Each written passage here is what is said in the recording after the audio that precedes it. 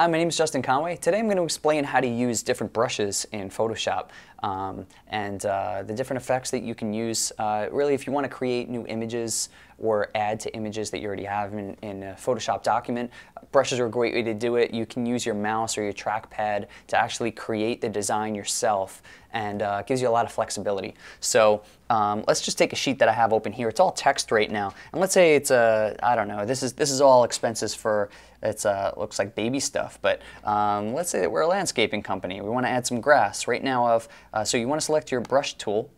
You want to go up into the options for the different styles of brushes, and you can see I selected this one here, which sort of looks like grass. You'll select the size that you'd like. Let's make it like 300 nice and big so that we can see it. Click OK, and select the color that you'd like to use. Let's select green for grass.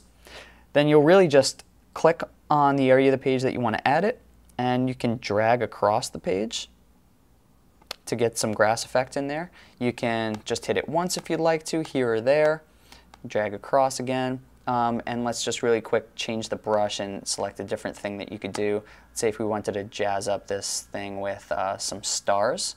Let's make that bigger again. We'll make it 300 also. And different color, purple. And you can add some stars going across your page.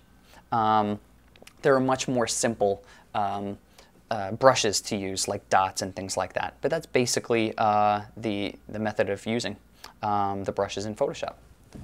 So again, that's the, that, those are the methods of using the brushes in Photoshop and uh, basically how to format the different textures and colors and things like that. I hope that helped. My name is Justin Conway. Thanks.